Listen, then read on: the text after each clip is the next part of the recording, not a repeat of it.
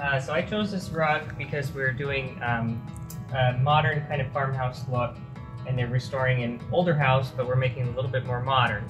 Um, so with the concrete floors um, and a lot of those more industrial elements that we're adding to it, I thought it would be great to have something like these rugs. This one is a vintage,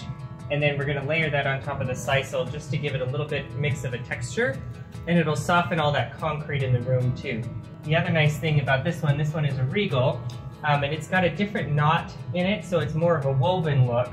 and that's going to break up the textures as well and just kind of make it a little more eclectic and pull everything together with the bamboo and the kind of richness of the linens and